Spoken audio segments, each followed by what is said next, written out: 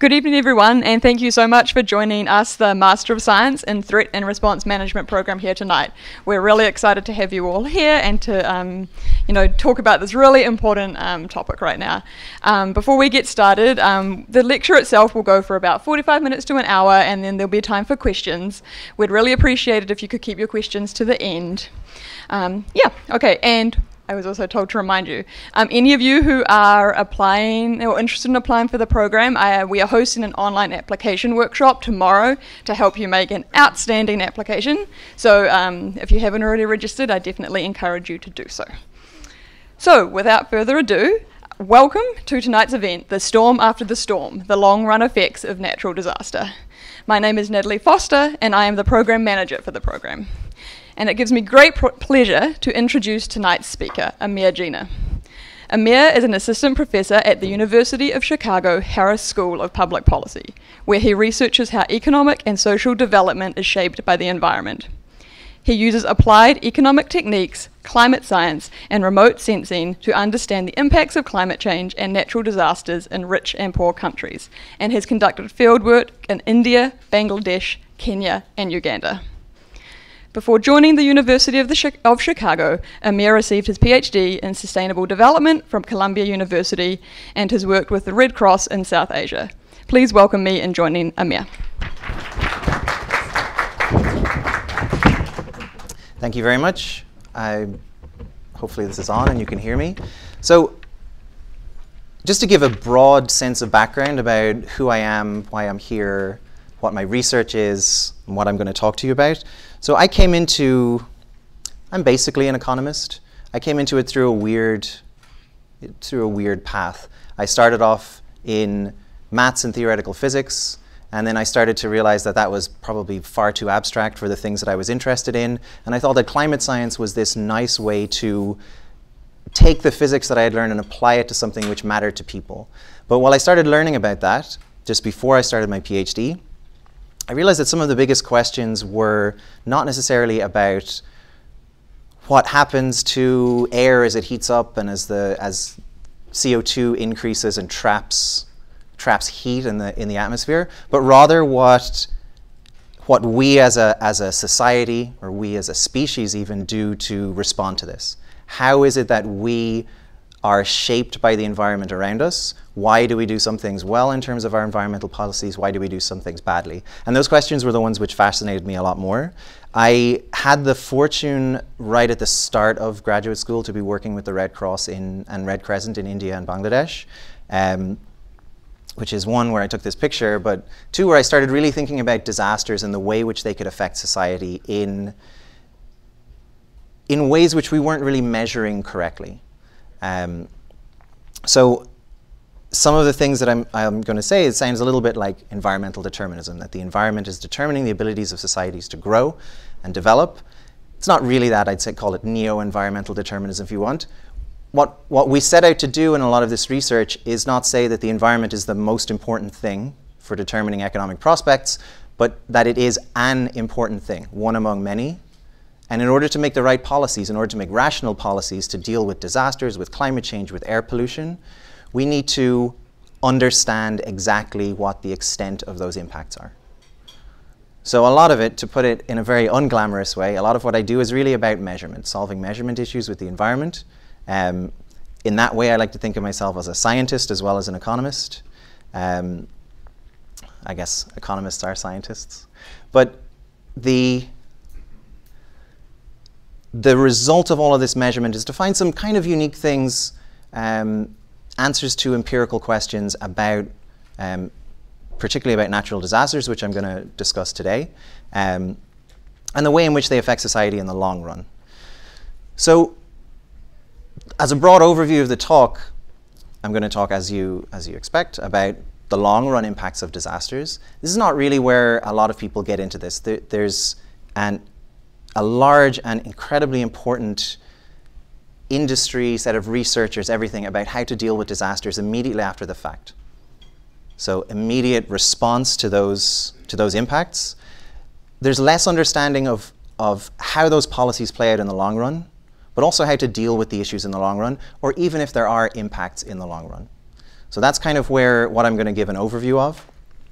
Um, I'm going to try and keep it at a, at a pretty high level and give you a flavor of what the research is, not go into a huge amount of statistical or mathematical detail unless you want me to, in which case raise your hand and I'm happy to, to talk about statistics for a while. But, the, but I want to give you a sense of, of really try to, to get at these, this set of questions here. In the end, we'll talk a little bit about Puerto Rico and some work that I've been, I've been involved in there, um, or I've definitely been watching. So the first one is, is what are the effect that disasters have on long-run economic development? If any. So this was the big question which kind of started off my research career, um, probably seven or eight years ago now, um, with this particular paper.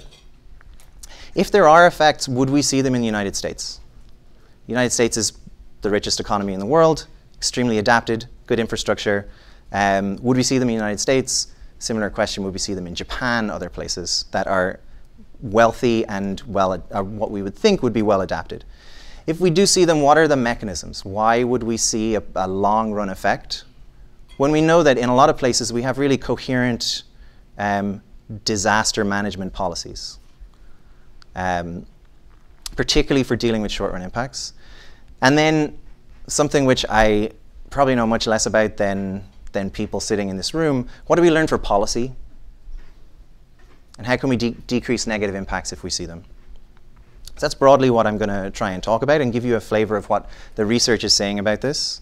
Um, so when I started thinking about this question with my, my co-author, Sol Hsiang, who's a professor at UC Berkeley, as I said, about eight years ago or so. We actually started thinking about it based on a, an interesting picture we saw of data from Haiti. So in the 60s and 70s, Haiti was growing, its economy was booming. It was growing very quickly. And in 1980, for some reason, this growth trajectory changed. And it started a decline, which it hasn't really come out of. Um, and then after that, in, in 86, 87, there was coups, there was political unrest through the 90s, there was a massive earthquake in 2000 and 2010.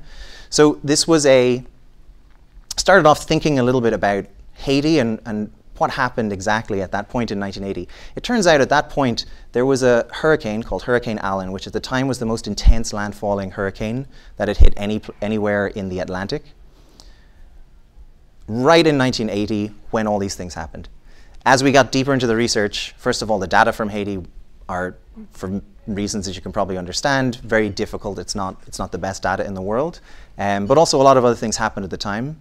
So we took a step back and started thinking, well, what would this, what, what do people think would happen when a disaster hits a country to their economy?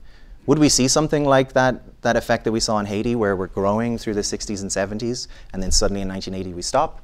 Um, and basically, economists, the way they had thought about this, had come up with four different hypotheses, all of these based on theoretical concerns. They didn't really have a satisfying empirical answer. So what we have is we have uh, GDP per capita, so think of it income, income per capita, growing at some baseline level. And So a country is growing in some way, and a disaster strikes. The way economists were thinking about this, there was four things that could happen, and each people kind of stuck to their guns on, on different ones. But by and large, a lot of economists thought that one of these two top trajectories was, would be what would be observed. So we'd have something called creative destruction. So a disaster comes in, you have a lot of out-of-date infrastructure, out-of-date capital, it gets de destroyed and demolished, it gets rebuilt, and then suddenly we have this very beneficial effect on the economy. The economy starts to boom because we end up with, instead of a bad factory, we have a good factory. You produce more. The reason, the difference between these two is that in the top one, you would also see that the, the disaster would have larger effects on, on the equilibrium in the economy, and that you would end up having increase in wages. So labor would labor supply would go down in some area, and people would migrate in, and so it would start to boom straight away. And that's really what was stuck in the mind of a lot of economists, that disasters should be good for development. In fact, after Harvey, the, the chairman of the New York Fed, made this claim on, on NBC that he said, I apologize for saying it, it sounds insensitive, but we know disasters are good for growth, so we'll get over this initial um, misery that people are seeing and things will be fine. Again, this is an idea that's really entrenched in a lot of economists' minds. this idea of building back better that maybe you'd have some, some declines in the, in the immediate term, but that you'd, as the, the good factories you've built kick in, you'd start to see this boon to your economy.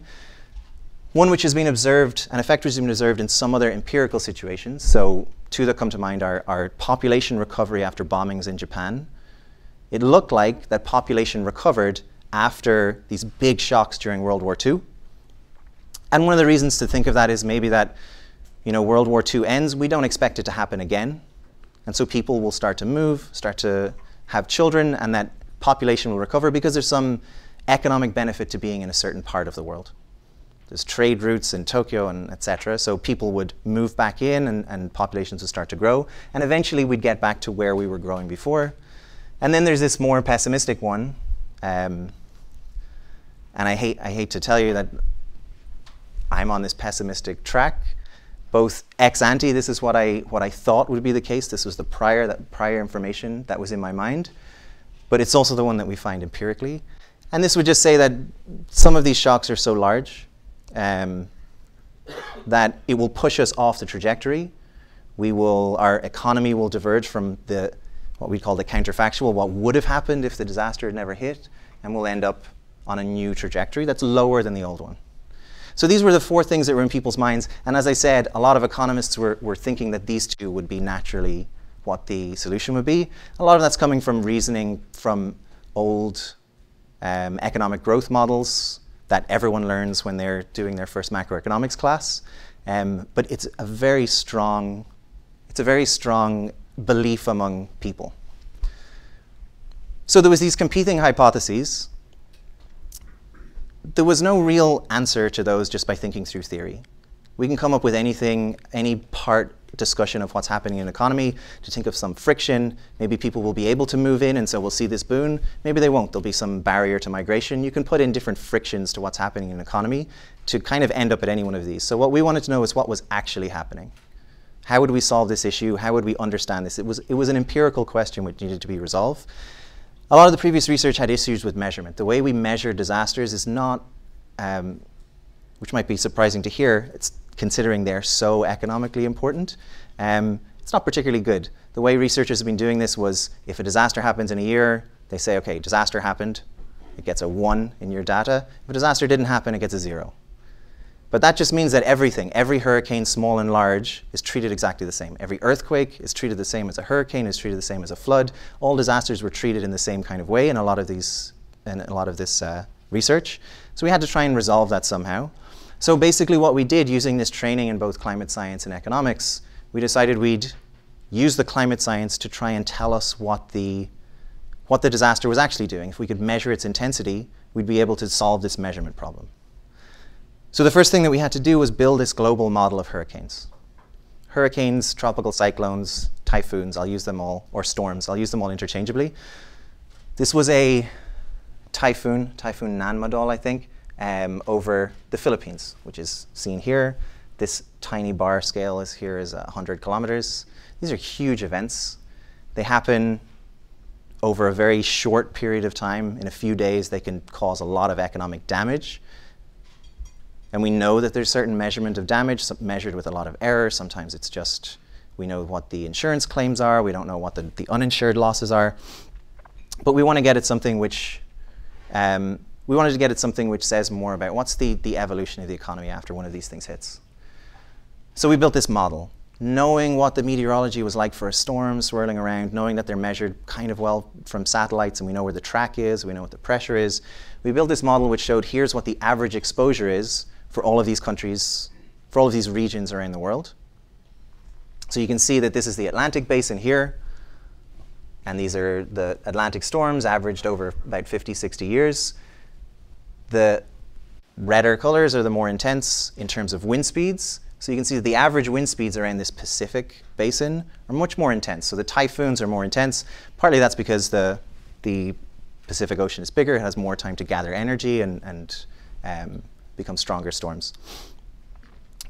Places like the Philippines are getting hit by 10, 15, 20 storms per year.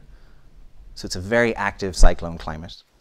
So we built this model, but the important thing in the research was to, to not just look at what the average effect is, um, but instead to look at each specific year. So an important thing to realize was that storms are going to happen around the world. These tropical cyclones are going to happen, but the exact path they take is completely random.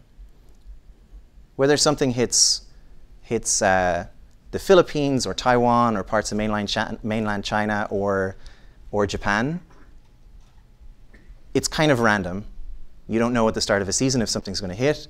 So we exploit this and we look at essentially what happens within a year in its economic, within a country within its economic growth. And in the years when it gets hit by a storm, we're using that kind of as the, the, the treatment in our experiment. So we're saying that we have the year in which it's treated, it gets a storm, and a year in which it doesn't, it's the control group. And we look at that variation that happens with storms as they're getting hit. We don't just do this for one year, we do this for 60 years, as I said. So this is the reconstruction historically of every tropical cyclone which, is, which has hit the Earth. And we know exactly what the wind speed is, what the power is at each point on the surface. Um, so now we have our, our setup. And so what do we find? Here's the hypotheses that we had before. Um, I've already kind of given the game away. You know what we found? We found this. So going, looking at these two things together, we have the same kind of picture. We have our baseline trend growing. We have from two different data sets, way that you measure, of two different data sets that are measuring the, the um, in income per capita for people. We see that when a storm hits, and I'm saying storms now rather than disasters, there is some evidence that the same thing holds for earthquakes, but there's a lot of work that needs to be done on those as well, you start to see that compared to what the growth trajectory was, you see this divergence. So it starts to grow slower. And you get this widening separation between the place that gets hit by the storm and what would have happened if it hadn't been hit by the storm. It's pretty substantial by the time you get to the end. This is, this is modeled out for a, a uh, uh, one standard deviation storm it's not really important, but a storm of a certain size. But for every meters per second increase in wind speed, we see about a 0.3% decrease in the level of GDP 15 years later. So that's meter per second averaged over a whole country. We can go a lot more into that. It's kind of a weird measure to think of, but I'll put up some magnitudes later so you can kind of think about this. But you start to see this divergence. Now, there's a couple of things that, that are, I think, important to note here for thinking about disaster management, any kind of uh, shock that you'll face to businesses, to anything, um, at the time of a, of a large environmental shock, is that around the time that it happens, we don't really see very much. Almost all of what we think about for disasters is focused on this period here. The year of, the year after, um, maybe a couple of years after, but then it quickly fades from memory. But we don't see very much. Part of the reason there is because these four hypotheses are, are kind of true in the short term. If you get a big disaster that gets a lot of attention, you can get a lot of inflow of aid, inflow of, of workers, labor moves around. So you can get this boost in the year. You get a lot of reconstruction, which helps GDP. You count the things you build back, you don't count the things that were lost. So it looks like your GDP increases in the year after. So you can get this boost. Sometimes you can get the opposite if the disaster isn't big enough to really gain a lot of international attention if you're in a, if you're in a poor country, um, or if it's not even particularly large in the US, you don't get as much FEMA, FEMA money coming from it. Um, you can see that there would be losses in that year. And it's very idiosyncratic which disasters get the attention and which don't. Um, within a certain threshold. The very large ones will get a lot of attention. There's a medium range where sometimes people will pay attention, sometimes they won't. And you'll see this kind of noisy response there. Who knows what's happening? Sometimes there'll be a boost, sometimes there won't be. So that's one of the reasons it's difficult to see anything here, because it kind of bounces around. It's unclear. But what this is showing that, what is that this is showing then is that regardless of what's happening here, for every single storm that's ever hit, made landfall in any country since 1950 to 2008, their economies for those countries started to slow down. And they started to gradually diverge from where they were before the storm hit.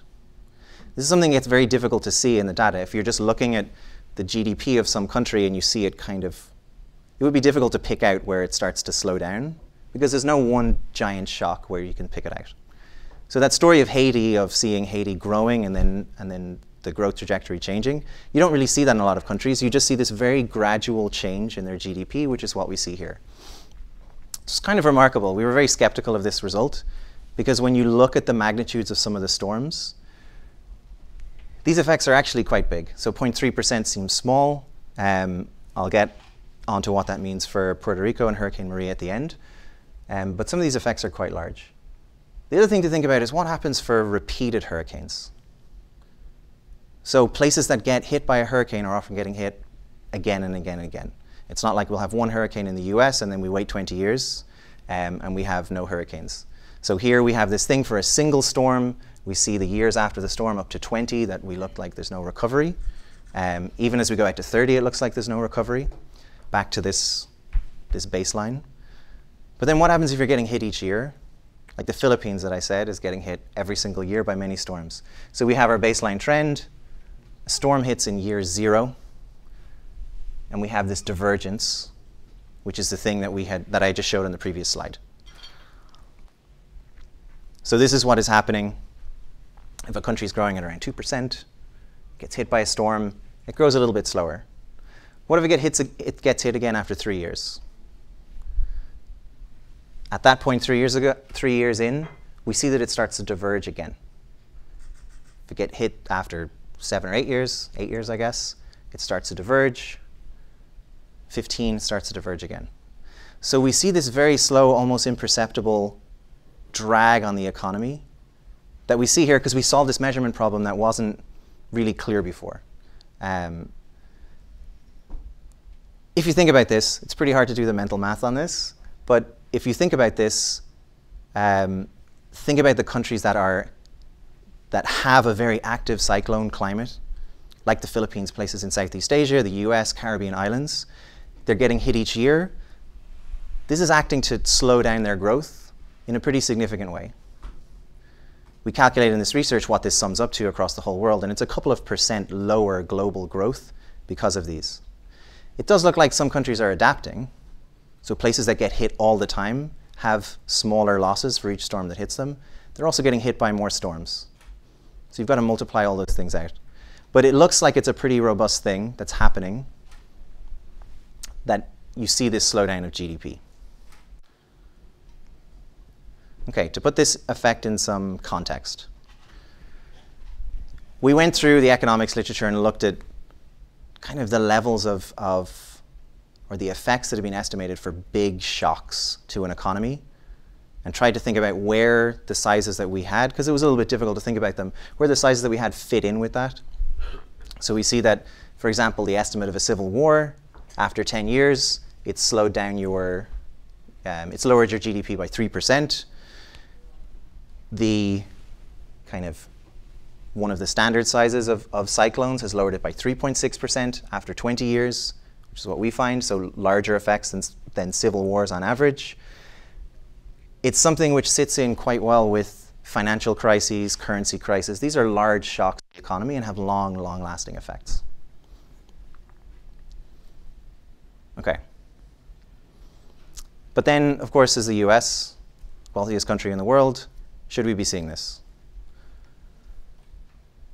There's, a, there's an interesting fact which has been noted in a lot of this literature that disasters, when they hit in rich countries, cause more property damages than they do loss of life, or relatively they, they cause more, because um, there's more expensive capital, there's more exposed property to get damaged, but people are kind of shielded from what the, what the, the intensity of the event is. In poorer countries, the opposite is true. You have a situation where you can have much higher loss of life, but much lower monetary damages. And this shifts as countries get richer. As people start to get more protection, um, you see this shift away from mortality and more towards property damages. So richer countries, US, Japan, who are two countries that are, are both wealthy and exposed to a lot of natural disasters. Um, you have better infrastructure, they're getting warning systems, it gets modeling these kinds of disasters, modeling the, the hurricanes to give us, uh, you know, a three to five day warning has become a pretty exact science. There's still a big, as you probably have seen those, those diagrams, the cones of uncertainty that the National Hurricane Center gives. There's a, a wide range where they can go, but we're getting pretty good at being able to pick up where the storms are going to be and give people warning to evacuate people. It's another reason why there's lower loss of life in, in, um, in wealthier countries, lower loss of life in the US. So let me ask the question, is the US adapted to hurricane disasters? Do we still see this effect in the US, or should we? So we broke up the world into different countries.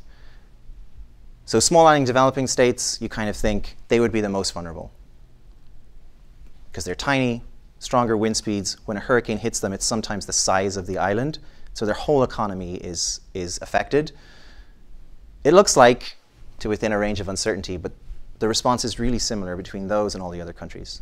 If we break this up by the major different basins, North America, all of the countries affected by that North American basin hurricane, that's right on where the, the effect that I showed you before is. Um, Looks like Asia is probably having a little bit of a larger effect, maybe because they have stronger storms. But this is something which happens across the size of countries, but also across the, the, um, the regions. So this is, again, the percent of GDP that is lowered years after a storm. And that's what the growth trajectory looks like. Then the thing which was kind of most fascinating and I hope you can see it here because I can't really see it on this screen. Um, if we divided the world up into rich countries and, and poor countries, based on above, above median income, below median income, the effect looks almost identical.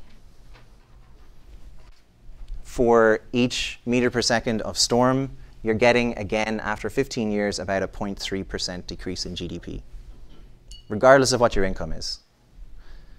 So that's kind of puzzling. You can imagine that this would happen in developing countries. Why is something like this happening in the US? What is the mechanism for this happening in the US? We've got, uh, we've got FEMA, we've got aid money, we've got reconstruction money that happens straight away. Um, so why was this something which would happen there? Just a little bit more on, on the US, particularly speaking about hurricanes. So the effects are the same in the US as they are in other parts of the world. In terms of damages, and this is kind of surprising, there's a, a paper from a couple of years ago by Laura Bakkensen and Rob Mendelsohn showing that the amount of damage that the US experiences, conditional on the size of the storm, hasn't really changed in the past 30 or 40 years. The rest of the world is showing that it's adapting. The amount of damage it has for a certain intensity of storm is decreasing through time. Slowly in some cases, but definitely decreasing. But the US has stayed kind of the same. And that's this big puzzle. A lot, sometimes the culprit is pointed at, the, the culprit of this that is pointed to is the National Flood Insurance Program. This is built in a lot of intense financial risk um, when places are exposed to, to hurricanes. We have a lot of capital, we have a lot of households, we have a lot of people who are vulnerable staying in places that are very vulnerable because they're not paying the right insurance levels to stay there. And that's a, definitely a bigger problem than just this simple description I gave. You have people who are essentially stuck in houses with zero value that they can't sell because they're so frequently exposed, and all they can do is get federal money to rebuild them year in, year out. So that's one of the reasons why we think that the US probably hasn't shown the same level of adaptation as others. It's an incredibly hard problem to, to deal with, and I'm sure there's people in this room that know more about it than I do. Um, but it's leading to this massive drag, we think, on the US economy. Okay, so what about mechanisms? What could lead to this big decline in GDP? There's probably a lot of them. It's important to think about what happens when disasters hit. So we think about what happens straight away. You can have loss of life, you have damage to your infrastructure, um, damage to factories, things that are producing, so you can think of that. But you also have these other effects that are a little bit longer and a little bit more insidious maybe. So you can see businesses closing, I'm going to use a really economicsy term and say you have misallocation of labor. I'll, I'll explain that in a second. You can have export shocks. So either families, families, either factories are damaged and they don't produce as much, or ports are damaged and they can't export as much. Um, you see migration, and there's some research on that that I'll show about um, Hurricane Katrina. And there's potentially a lot of other ones. So just going through a little bit of those, this is now research which has been done um, in the last few years, by and large, looking at what some of these, the causes of this big effect could be. So, in a really interesting piece of research that was done about business closures after Hurricane Katrina, there's various there's various ideas of what's actually happening after to New Orleans after Hurricane Katrina, and some people say that some areas have kind of grown back better than they ever were before. Some places, like the Lower Ninth, which was most affected, is still um, kind of a bit of a quagmire, um, economically speaking. So some places have grown, some places haven't. What this paper does is it looks at businesses, and it looks across places that have different levels of damage due to Hurricane Katrina and so you see that in the, the year when the storm hit, we have that set as zero. That's the number of businesses there were. Um, ignore kind of what this is. This is just effectively think of it as a number of businesses. And you see that through time, the places that are undamaged, so in Louisiana, there seems to be this kind of this already de- slow decrease of the uh, of the number of businesses in the economy. The places that experienced a lot of damage from Hurricane Katrina had this this jump to go lower. So businesses were closing, it was often small businesses. You can see this looking just within these damaged counties here, the ones that were growing lower, that were closing more frequently. The places with really severe damage, the businesses closed much quicker. Often these were small businesses, and then there was more consolidation. So things like Walmart were kind of fine because they had this diversified uh, supply chain. A small business didn't really have that. So you see a lot of small businesses closing. And then you can think of, well, what does that do to a local economy or even a national economy? You have a lot of people who are losing jobs, etc. So this could be one underlying mechanism. Here's this labor misallocation thing. So this is a paper by um, by Tatyana Deryugina at UIUC. So you look at what happens to US all US counties after a, a storm hits um, and you see this surprising fact that the transfers from the government start to increase. This is the year that the storm hits. This is years after the storm. These are years before. And effectively, what this means is that more people are going on unemployment insurance. You see the number of people unemployed, number of adults employed is decreasing. And this is lasting for 10 years. The most amazing thing about this paper, the, the, sum, the headline of it, is that the cost of this of Social Security and of unemployment insurance is 10 times the damages that occurred from the hurricane in the year that it happened. So then we experience these damages, and then we experience effectively 10 times more damages that are stuck with us for the next 10 years. So this is called, I'm calling this misallocation of labor. You have all these people who were previously employed, who could have been contributing to the economy in some way, who, for some reason at the time that the storm hit, lost jobs and are never able to get them back. Either their businesses have closed or some other reason. So, this is another reason, thinking about why this effect might be this long term thing. I'll get to what some of the implications are for this for policy in a moment. We have migration. This is by the same one of the same authors.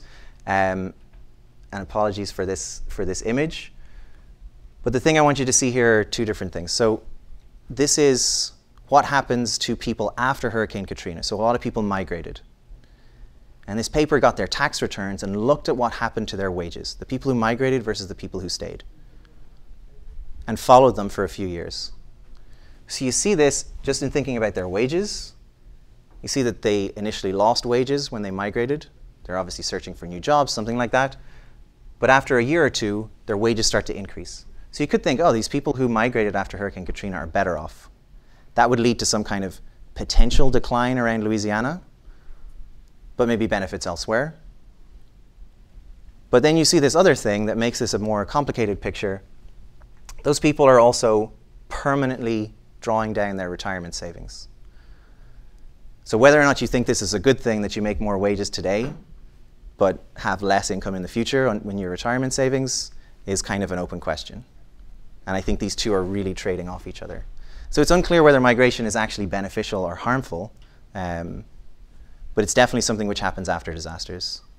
This is on a paper about the Philippines. You see the parents stop investing in their kids. So in a developing country, you can imagine that this would be a big issue. People are then developing less skills. Human capital kind of slows down a little bit. But effectively, households, the, the axis is flipped here, so this is losses in this direction. After a storm hits, sorry, after a storm hits, people are losing are spending less money, they're reducing their expenditures. And then you see a lot of um, potentially bad things happen in that time. You can extrapolate a little bit from this to the US. So if I, in the year after a storm, have to spend less money, I might be in a situation, if I'm in a low income family, of having to make a trade off between a set of important things medication, doctor visits, education, etc. Those immediate shocks are things which carry on with us for years afterwards. This is a paper I just saw recently. This is looking at trades at, trade at a port level. So a storm hits, and then months after, you see that exports are declining. So either it's, it's factories which are damaged, production is damaged, or it's something like um, ships being diverted and then never going back to that port because they view this as an extra risk. And so you see all the, the imports and exports, exports in particular, but imports also, um, being affected in the long run because a storm hits once. So this five-day event, which then starts, stop, starts a port declining over this two-year period and not seeming to recover. So it's important here, what the research is, is showing from the last few years is that um, it's important to think about what is actually happening when a disaster hits. So not just thinking about the immediate things that we can see and observe, not just seeing, in the case of Hurricane Sandy, which happened while I was living in New York, um, there was houses in Staten Island, expensive houses with insurance, which were the poster children for the damage from Hurricane Sandy. And people lost their lives and it was a serious thing. And they are the images that we think of for a disaster. But what's also happening is that there are people who didn't lose as much, but because of power losses in Manhattan, low income families, particularly Hispanic families in New York, couldn't go to work that week, sometimes lost their job. But that weak shock to income is something which can often lead to extra payday loans, which is interest you're accruing sometimes over the long run, to people not buying medication, to other things which we don't really think of as disaster impacts. We don't think of unemployment in the long run as a disaster impact, but that could be one of the things which is leading to this large diversion between what would have happened um, had we not experienced the disaster and what happened when we, when we experienced it. So there's something about the saliency of the indicators we use. We really focus on that moment, those moments afterwards, not potentially on the things which are a little bit more insidious, which we don't notice, which could drag on over time. Okay, what does this mean for disaster policy? As I said, this is the part that I probably don't have as much to say on. I get to research miserable things every day, but not as many positive things. Broadly speaking, there's kind of two there's two distinct periods of concern when you think about any kind of disaster or big shock. There's immediately after the first few months, that kind of stuff, and then there's the rest of the time. A lot of the policy focuses on this immediate aftermath. So even rebuilding policy is about rebuilding things that were lost not necessarily changing plans or zoning, particularly in the US, to deal with six months after to the next 50 years in some cases when you're building power plants, roads, lots of large infrastructure projects. The results that I showed on what's happening at the macroeconomic scale, what's happening to the country's income, are inclusive of every policy that everyone has ever put in place to deal with disasters. Despite that, we still see this decline. So the reason that things might be noisy right in the year after or the year around a disaster happens is because some of those policies work, some of them don't work, but they might be doing a good job of smoothing over those initial few years. But it's clear that because we see this drag on the economy, that there's something that we're not doing thinking about long-term policies, either in the actions we take immediately after disaster, which could benefit, reduce damages, reduce economic loss in the long term, or the policies that we have over the long term. Um, so it seems like perhaps even if we do one right immediately afterwards, we're definitely not thinking of this six months to years afterwards. Um, there's a really interesting piece of research which came out last year looking at the effect of FEMA spending. And it finds that the stuff that we, spe we spend ex ante, so risk reduction money, and this is, I think, one of the first, there, there's this whole global movement on disaster risk reduction, which takes, which posits that, and takes, in some cases, for granted that spending money on disasters before they happen reduces damages in the long run, that it's a better thing to do. It's something which doesn't have a lot of research support. It's very difficult to try and find out the effect of a disaster that didn't happen because you invested in something. Um, so there's this great paper looking at what happens um, with FEMA spending that happens before a disaster, so risk reduction, versus ex post, stuff that happens afterwards, recovery, reconstruction, that kind of stuff, and finds that it's twice as effective at reducing damages. Which is pretty cool. Except even this is open to interpretation because the specific projects and the amount that's spent on risk reduction is much smaller than the stuff that's spent afterwards.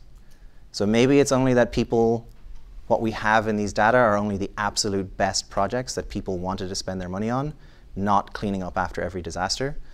Um, but it's definitely um, really suggestive and really encouraging piece of research that a lot of this could be about planning and about risk reduction rather than dealing with the effects after they happen. Okay, I'll move on for the last few minutes to talking about Puerto Rico. So Puerto Rico, as most, as I'm, I'm sure everyone in the room has, has, has heard, is going through this massive debt crisis. It's the largest debt crisis in US history. Um, Puerto Rico has a very unique relationship with, with uh, the mainland US. Uh, not a state, not independent, somewhere in between, and has a lot of potentially distortionary policies because of that. So in particular, trade has to go through US ports. It's very difficult for it to set trade policy or wages or anything independently. So it's this very unique case. And what happened last September, is, as we all know, was um, Hurricane Maria. So one of the most active, one of the most damaging, I think the most damaging hurricane season um, in the US. With these three big storms, Harvey, Irma, Irma and Maria and Maria hit Puerto Rico, went completely over the island, such that effectively there was not a single person on the island, the whole population, that didn't experience at least a category 3 wind speed. And that's huge for such a large area. That's one of the largest landfalling storms in terms of energy experienced by everybody on the island that's ever been experienced. Um, because of the debt crisis, there was an appointed group um, under an act called Promesa that was meant to step in, impose austerity on the economy, try to deal with the debt crisis. Senate appointed. Um, they spent a couple of years coming up with a financial plan, thinking about how they would pay back the debtors, how they would invest in the Puerto Rican economy, what the tax base would be. Very exciting things, thinking, trying to project what the tax base would be.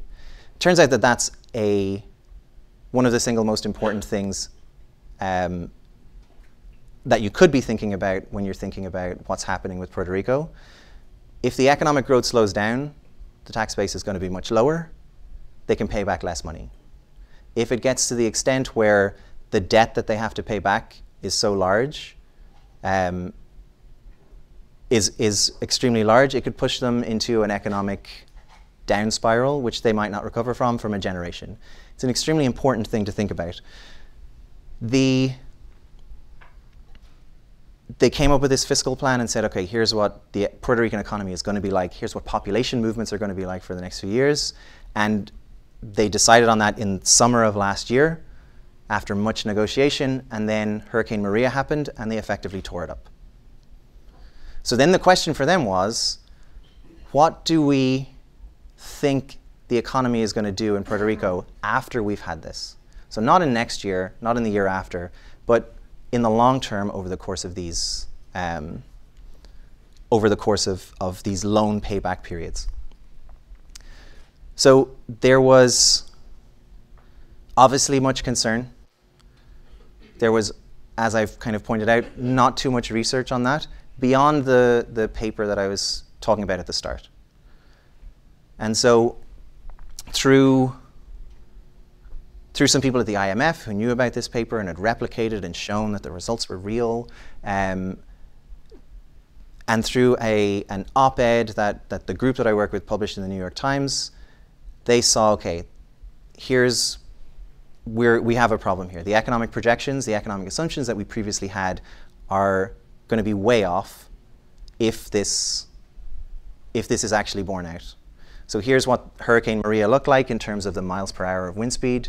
Um, as I said, if you look at something here, there was nobody on the island who didn't experience at least a category three. It went completely over the island.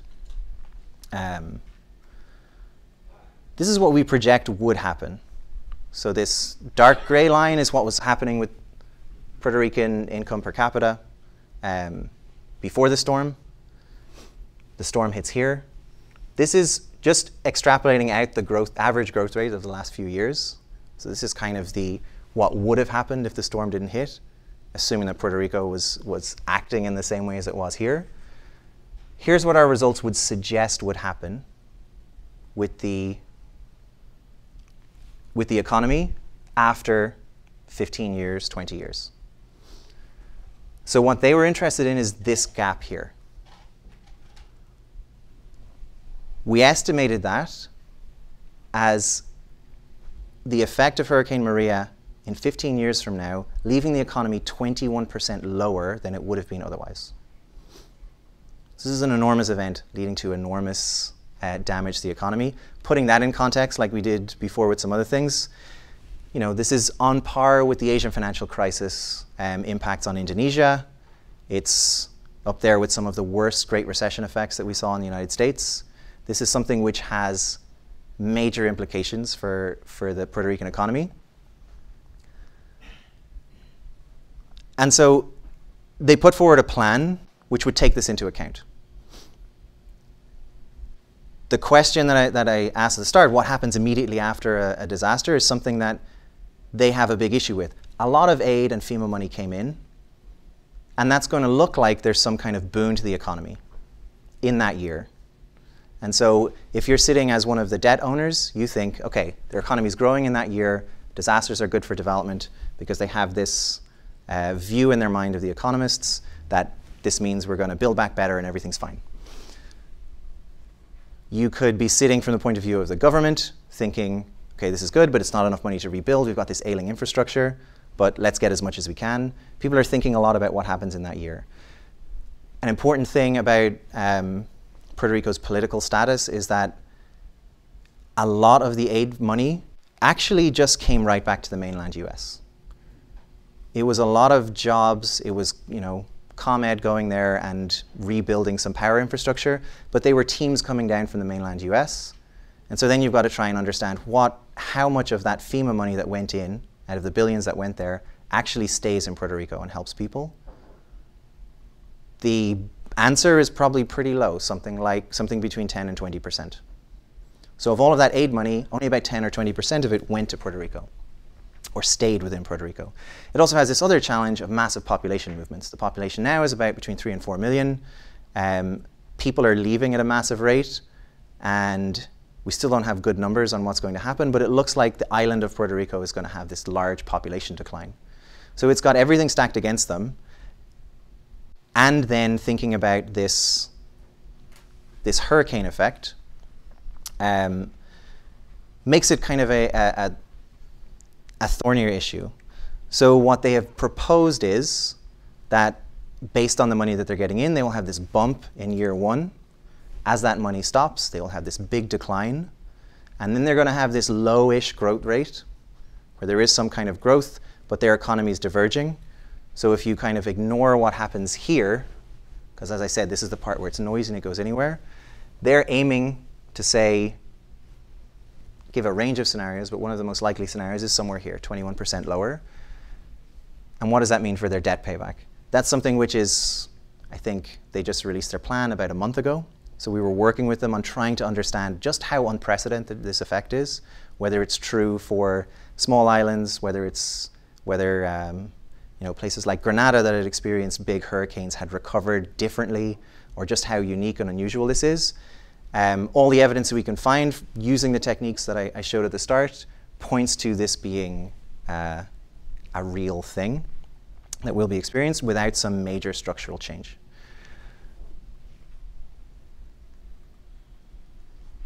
As I said, the plan was just released in the past couple of weeks.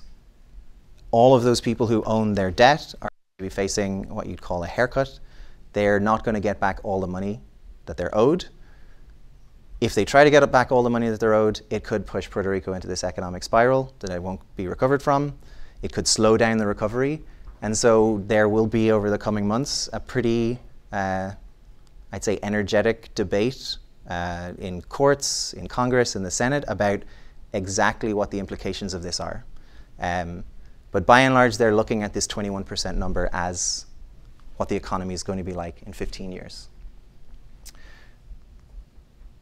Okay, so some conclusions then. So disasters are negatively affecting economies in the long run. This research was for hurricanes, and I'm mostly focused on hurricanes, but there's some evidence now that it's also true for earthquakes, maybe over slightly shorter time horizons. But a lot of these long run effects are showing up in different things, not just the economy, also in trade, etc.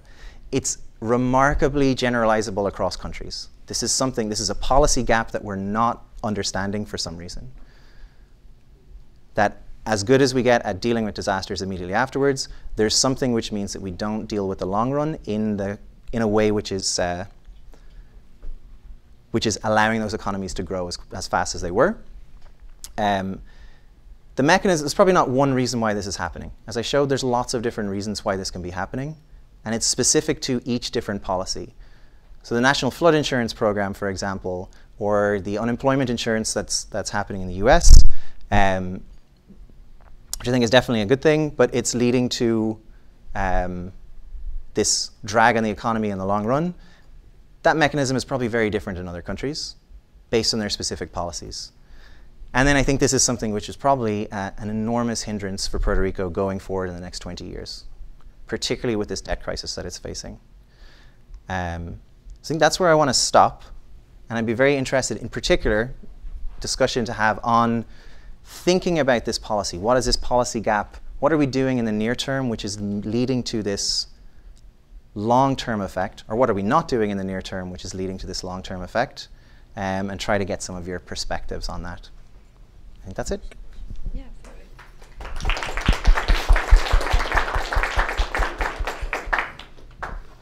Uh, hello. Um, my name is Charles. Uh, I have a question with respect to Puerto Rico and listening to everything you said. Uh, and it's like a two part question. First,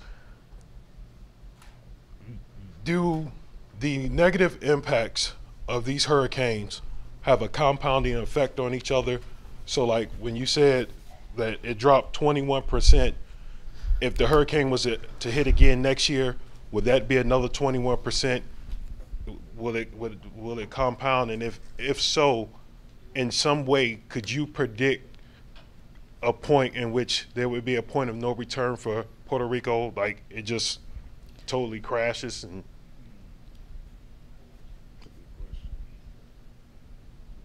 mm-hmm. Do you want to ask both together, or should you uh, want me to? Yeah, no, just. We could do it with this. So, so the um,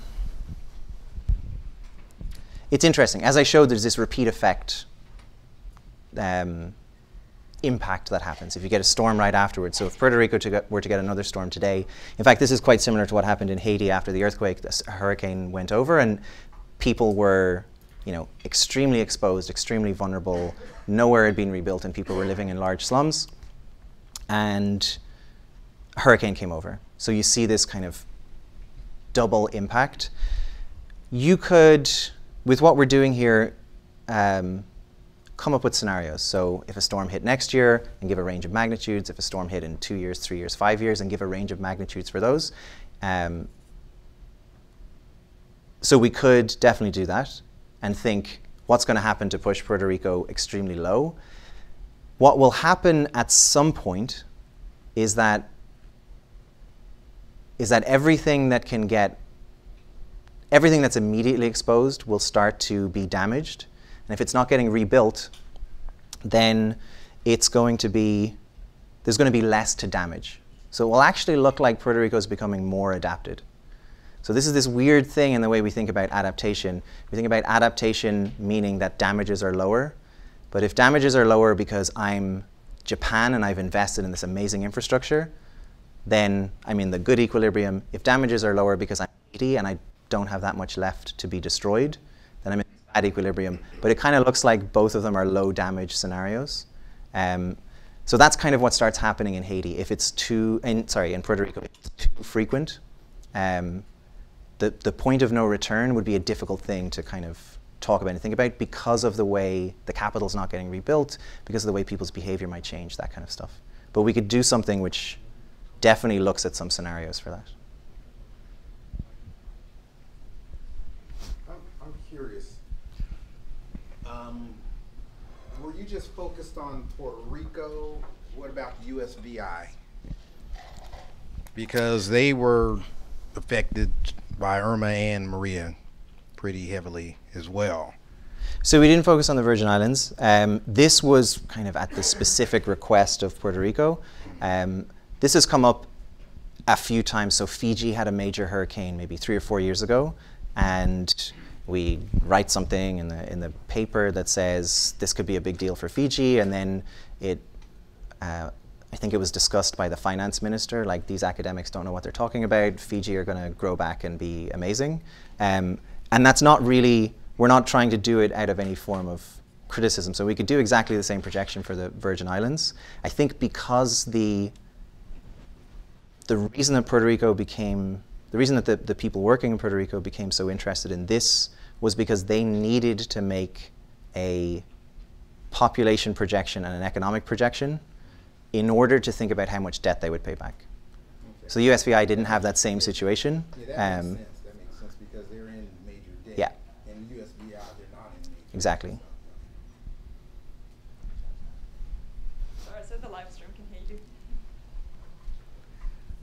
So I'm, I'm, I'm curious why the trend lines don't have built in the expectation of these disasters, especially the ones where they have repeated disasters. Ah, so this is more, this is kind of a, a, a display thing. We're, we're just showing what the trend line would be with no disasters. But in that, when I showed this repeated disaster happening, as the, the first disaster happens, it pulls the, the GDP growth down. That becomes the new trend line and that's the one that gets um, that we we divert off from. Um, so it's more a display thing.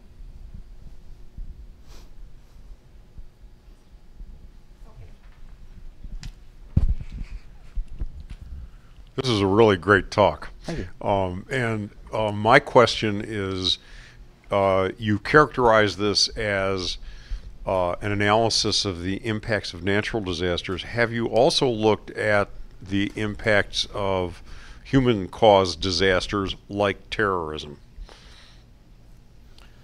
On, you know, on a so, large yeah. scale, small scale, because there's databases out there that, that discuss that. Um, so this is where my, my cautious academic hat comes on, and I say, well, I don't know much directly about that, and then I try to change the question about something else. But if I, I try to not put on my my academic hat. Um, I think it's important. So thinking about, I characterize this as disasters, but I was specifically talking about hurricanes a lot. And then there's some, I'm doing some work on flooding. I have a, a co-author doing work on earthquakes. Um, it's important to think about what's particularly distinct about those. So I mentioned this idea of, of Japan and bombing. So maybe terrorism fits a little bit more into that. It's a, it's a human caused violence, there are a different set of policies and a different expectation about their return interval, probably. um, I will think about terrorism very differently than I'll think about a disaster. And so the policies for dealing with them would obviously be very different. In terms of what this would do to a, an economy, um, I think because in comparison the destruction is quite limited from a single event, you wouldn't see this same event. I mean, the, the, the, the economic damage from a hurricane that hits Florida is, is enormous. It would be hard to cause that much with a single terrorist event. For a large scale civil war or a cluster of large events, you might be starting to approach that. So that was why I put this, this thing up in the context of a civil war. Um, but I think to answer your question, it would probably be, they would be distinct for various reasons. The policy responses would be different um, for thinking about these long-term things. And I think that the magnitude of the events before they get to a large scale um, would probably put them in a, a, smaller range than what happens from, you know, Harvey or Irma, for example. But it's an interesting question. I'm, I'm, people do look at it, but not really thinking about economic growth. There's a lot of other things that happen to an economy when, when you enter a situation of large-scale civil strife that could also be causing degradation to the economy. So my question is kind of going off of that, but more in regards to your model and the counterfactuals controls that you, you used. Um, did you, sorry, um, so did did you take into account the likelihood or existence of human-made disasters or like conflicts in the in the areas when you looked at it when these papers were run on a global scale, or when you control for that, did it just not matter enough, or was it so small in the aggregate that it wasn't worth looking at? So there's one, there's, there's, uh, first of all, I'm glad to know that you, you remembered all the terminology from the last quarter. Um, but the,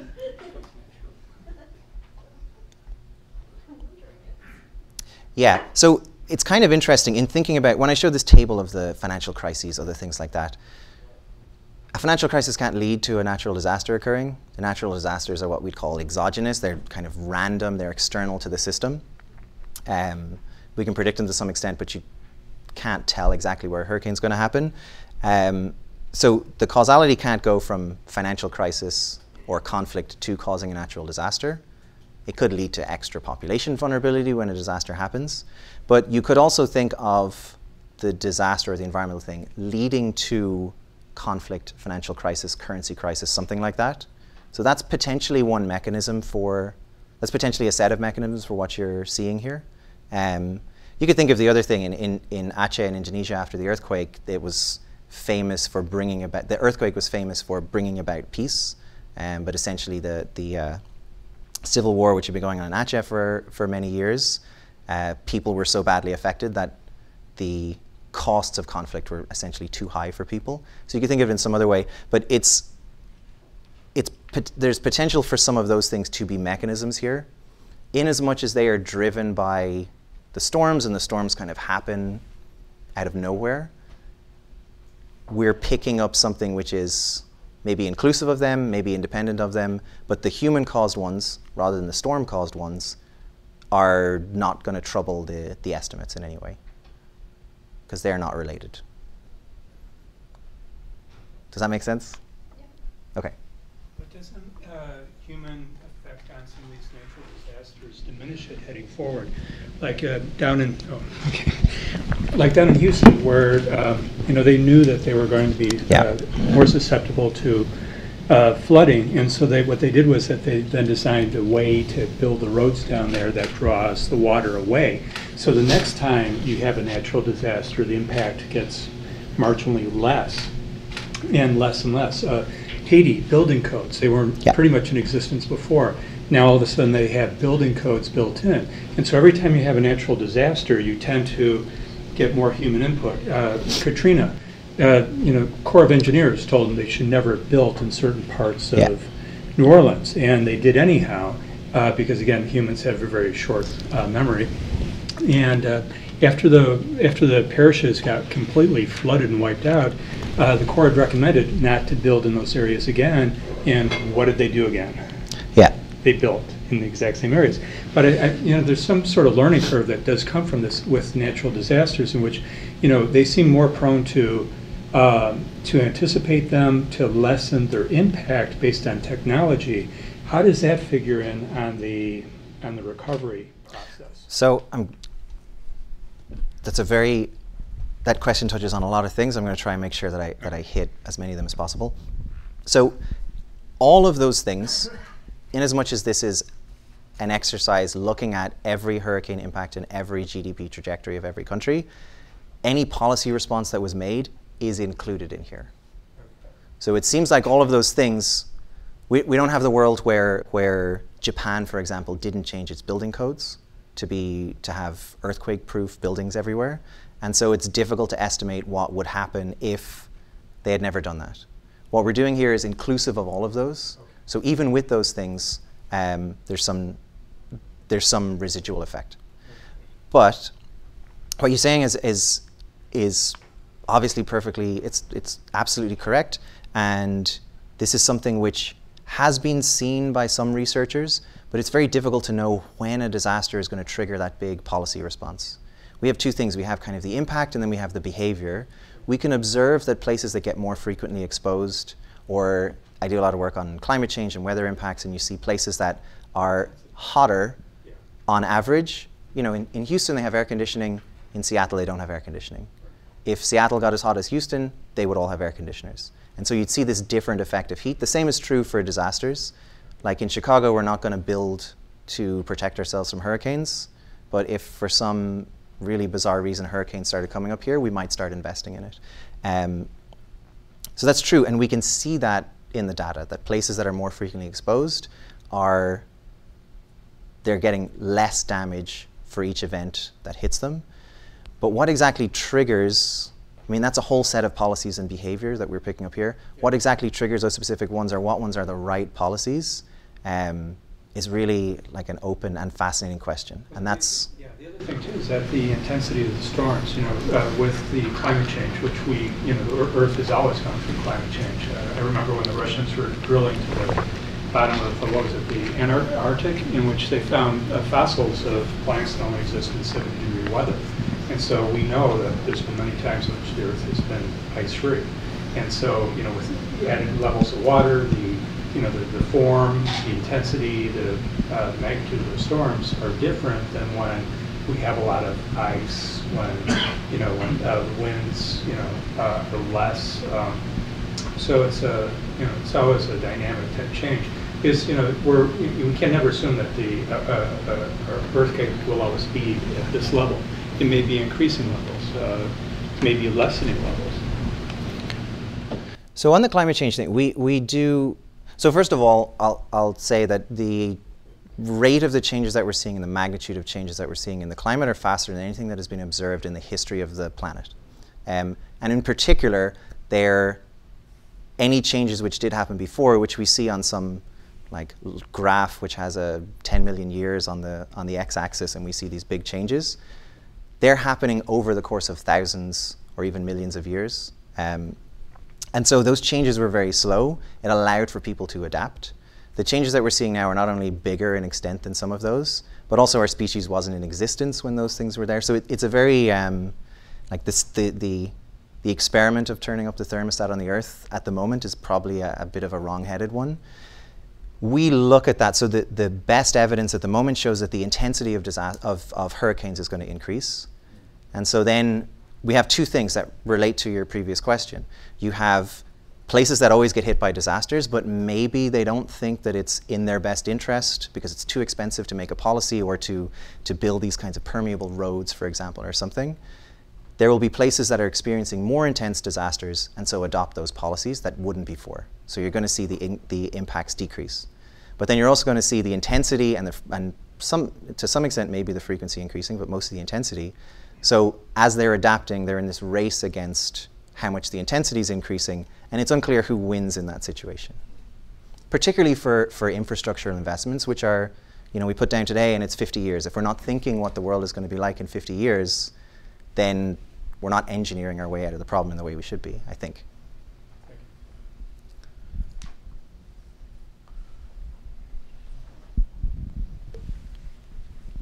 Uh, my name is John Fitzpatrick. Um, I'm actually in the uh, liberal arts program, but this is interesting. Very thought-provoking presentation and, and the work involved. Um, and I'm I'm curious about your research. Um, I mean, we know from thousands of years ago when earthquakes happened in places like Greece, people just picked up and left and migrated. So migration happened and nothing was rebuilt where the earthquake occurred for lots of reasons. But in places like Houston, uh, Harvey, where the estimates are that there's um, you know huge loss, um, but we know that uh, 35 or 40 billion of the 70 to 90 billion um, of loss, and these are uh, one of the cat modeling firms, RMS, that come up with these numbers. 35 or 40 billion was insured loss, and so that money starts flowing in and buying wallboard and uh, construction materials and new cars and all sorts of things. And we also know that the government approved, you know, 36 billion more uh, for, I think, Harvey and maybe Irma, and I don't know what they did with Maria, but so there's a lot of, there, we're talking about 70 billion worth of hard cash going into what is measured by GDP. Uh, and it is hopefully some of it's going into things that are better construction, better building codes, better infrastructure um, uh, solutions. Uh, so I'm a little bit su surprised by the fact that if there's a, a high level of insured loss, uh, why you're not seeing in the data um, the immediate boost to GDP that comes from that, because that money goes right into GDP. It's measured in GDP. It's measured in national income and and um, personal income. Um, whereas the stack of what was destroyed is is not in GDP. In other words, it's not like a zero-sum game. You build back a house.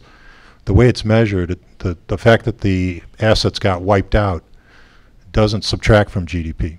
So I'm really um, mystified that the numbers don't show kind of a boost in GDP while the building and construction is happening after an event where there are, uh, in places like America, United States and Japan, where it's heavily insured. So again, another question that touches on a lot of things, and I'm going to try and um, make sure that I cover all of them. So one thing which I, which I didn't quite talk about here, but is kind of my working hypothesis for what's happening, and this broadly orbits around your question, we have this idea, so GDP, um, which I mentioned very briefly, you, you, do see this construction boom. So sometimes in the year after, GDP uh, looks like it's, it's uh, increasing. Um, that's what a lot of people would have said is this build back be better type of idea. But what's happening in a lot of those cases is that I have money to invest in something, um, particularly if it's federal money. So there's, there's very low rates of insurance for flooding, so a lot of the Harvey damage, for example, was flooding damage, and people just don't buy their insurance. It's not priced right, and they also know that in the case of a big flood like this one was, um, the government's going to bail them out. And that's what happens often with the National Flood Insurance Program. People don't buy in a lot of disaster areas because they know that the government is an automatic insurance mechanism. Um, so that's one thing, the, the level of insurance is too low. But if you think about it then as I'm going to use the word counterfactual again. What, what would have happened if we, if we didn't build this fantastic factory? So before I said build back better idea was you have a bad factory, it gets knocked down, you build back a much better one, it's more productive. But where did that money come from? And what would have happened if we didn't experience that disaster? If we didn't experience that disaster, we would have had a bad factory and a really good factory. It could have been invested somewhere else. And so, in particularly in the case of, of federal disbursement of funds, you're seeing that money which could be going to some other productive investment somewhere else is going towards rebuilding things. So that's one part of it. And that might be one reason why we see this. That's like a misallocation issue. And that might be one reason why we're seeing this. Another reason why we, we might not see a boom that is lasting um, is because of precisely what's insured and what's not insured. Um, so we see it in the immediate term, but as I said, some of these mechanisms are people going on unemployment insurance, for example. So the people who would be uninsured might be the reason why this there's this slowdown effect on the economy. Um, and then the other reason probably being like low, low-ish levels of insurance, given the risk that people in different places are, are facing. So there's many reasons why you see that, but you, you're definitely correct. You do see this boom in construction, and often after a disaster, you see, particularly driven by, cons- by construction, you see this big spike in GDP, and then kind of nothing in the subsequent years because of what, because what's damaged and what's missing doesn't get counted. Does that did that touch on? Well, I'm, I, I, I guess I'm thinking about the fact that we live on planet Earth, and Earth has windstorms, earthquakes, and they will they have happened in the past. They will happen in the future, and so there is no um, state where there are no storms. To, and and that comparison to me is less useful because that state of the world doesn't exist. So seems to me what matters is these things are going to happen. I completely agree with you about the climate change and the intensity and the severity of the storms will go up, particularly in the areas that are populated. Um so uh, it's all about you know how do we finance these losses? Should we should we pre-event, um, do mitig- loss mitigation, and it looks like you've got evidence that says it's valuable to do that. Should you f- finance for it in advance by buying insurance and having tens of billions, hundreds of billions available to to flood in to the e- economy and and um, uh, rebuild better? It seems to me those are things that do make sense. Yeah. But we know governments don't buy insurance pre-event. They s- barely have enough money. Let's say, let's use Chicago or Cook County or Illinois as an example.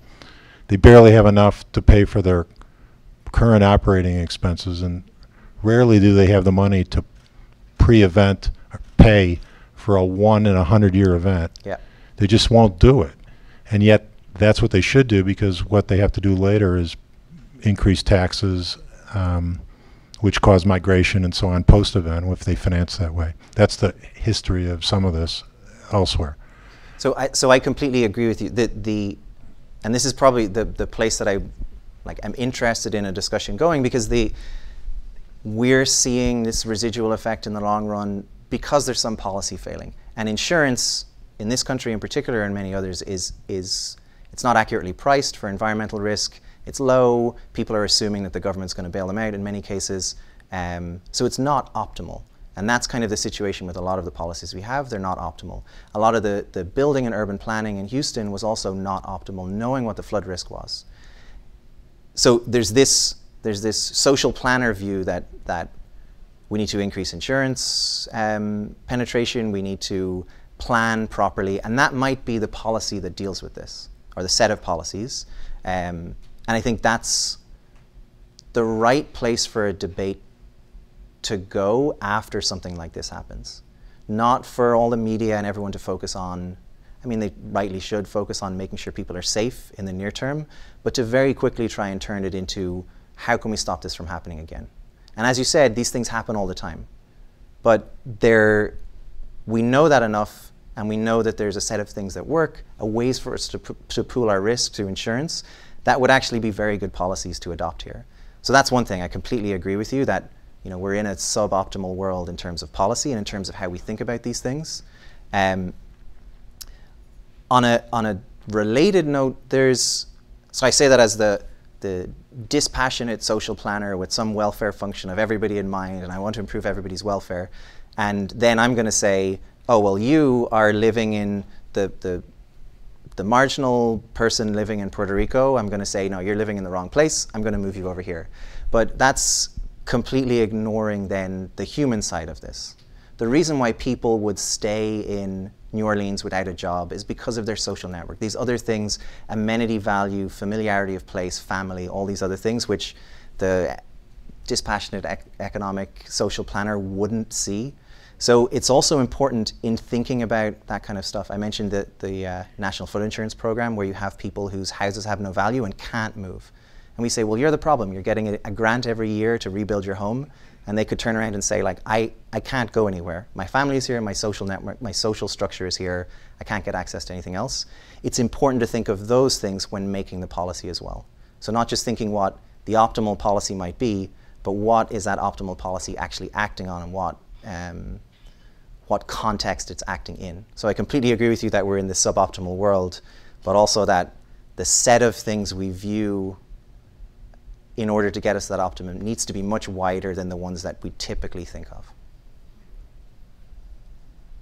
Hi, um, I had a question about the slide you showed about the repeated exposure to storms.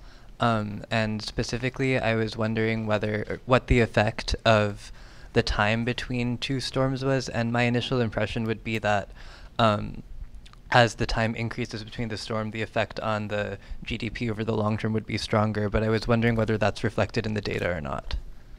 So now you point out all my my statistical failings.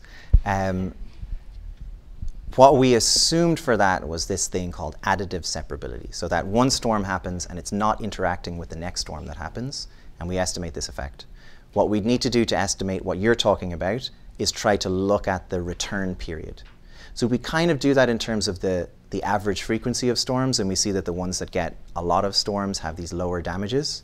But that doesn't really say, that means on average over a really long term. What that doesn't really say is what happens if, again by random chance, like in the, the question that came up earlier, if Puerto Rico was to have a storm had this storm last year and was to have one next year versus having one in 15 years' time, and what the difference would be there. Um, and the answer is, I don't know. So part of the the reason for that is that it's a difficult thing to estimate with any kind of precision to say something. Um, and you could imagine it going kind of both ways. I think the the question earlier about what leads to a policy change, I think that's an important question for people to start looking at and something that I'm interested in looking at. Um, maybe it's the case that two disasters right after the, the other leads to this change in building codes or change in something that helps us in the long run in a way that one disaster and then one 15 years later doesn't. But it's a question that I don't know the answer to, but I think one that's very important. I think we have time for one more. You had your hand up before. Oh, goodness gracious. Last question. Uh, well, that's too much pressure. Um, I was just uh, thinking back on the that race you're describing of adaptability versus escalation of climate change, um, and looking at the policy gap we have and the political moment we're in, and the fact that that escalation of climate change is being called into question right now. Um, I'm wondering, did you look in your model at all at how the gravity of the situation is going to change and how the economic effects might increase? Over time? So, it's a great question. I love talking about climate change. Um, the, we do look in the paper at some climate change projections for what's going to happen to storms. And as I said, there's this, there's this result that the intensity will increase, the frequency probably won't change for various um, meteorological reasons. We project out into the future what effect that would have, but in, with a very strong specific set of assumptions, which is that people aren't going to adapt.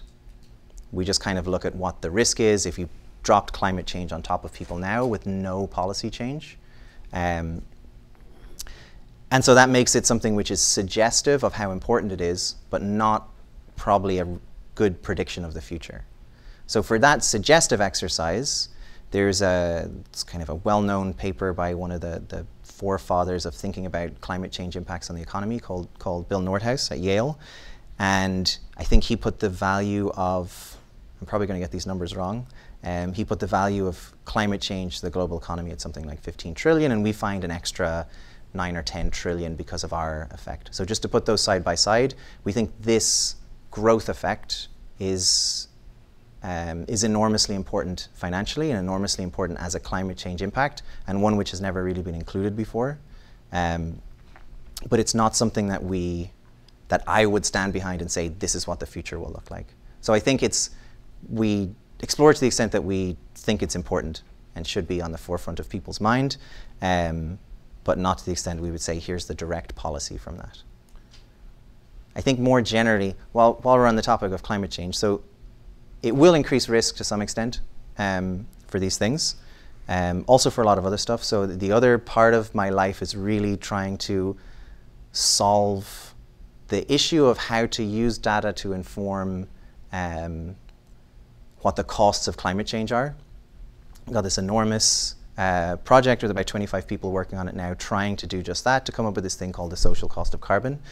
The political moment we're in is, is one such that the current social cost of carbon, this measure of the damages from climate change, has been effectively set to zero through some anti-scientific manipulations of the, the methodology.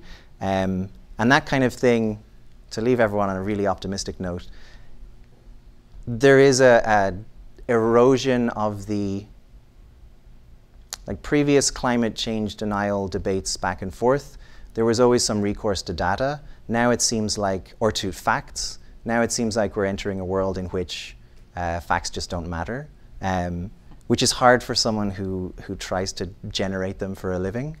But it's a pretty worrying time um, to see that those kind of things are being disregarded. This kind of research has filtered its way into how the Puerto Rican government is thinking about their future, and that's a really positive sign um, probably more positive than like what the outcome is. Um, but it's a rare case where someone will go and pull a number out of a research paper.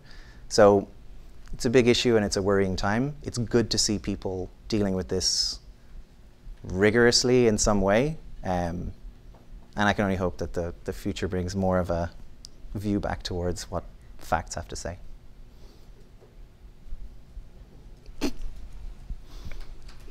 Thank you, Amir.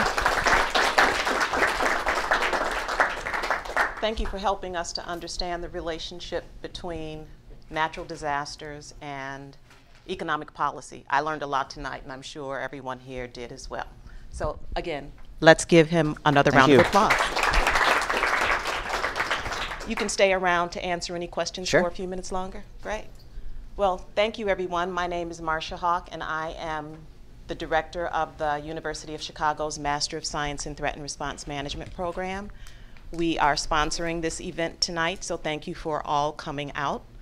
Um, as my colleague Natalie mentioned earlier, we have a number of um, elective courses that we would like to introduce you to, so please stop by our table and back and pick up information on the program.